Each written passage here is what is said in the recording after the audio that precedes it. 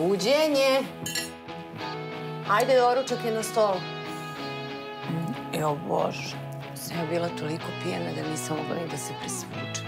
Ajde. Zakoči kolice i namesti se. Ajde.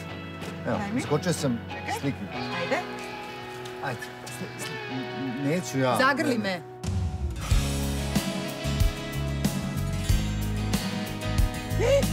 Marko, trpi, ne da mi odletelo! Daj tanjir, šta me gledaš? Imate pomalo hleba? Stavio sam hleb.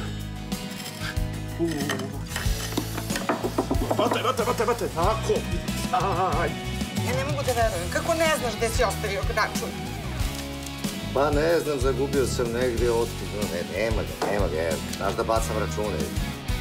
Znam, Bubu, ali ovo nije šala. Dete je moglo da nam pogine zato što su njihova kolica pokvarena.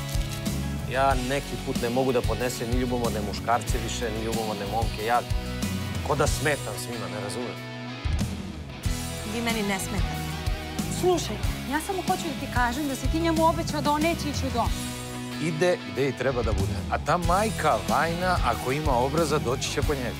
A ja hoću vladu od pre 20 godina. E pa ti si kriva što ga nema. Ti si ga ubila svojim nečasnim ponašanjem.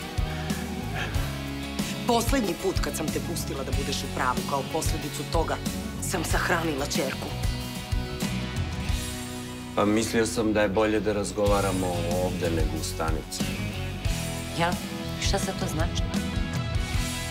Znači da nisam hteo da te maltretiram u ime starih vremena.